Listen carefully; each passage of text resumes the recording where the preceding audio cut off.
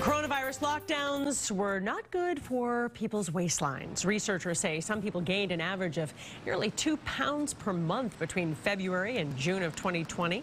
On average, participants gained a little more than half a pound every 10 days. That works out to about a pound and a half a month.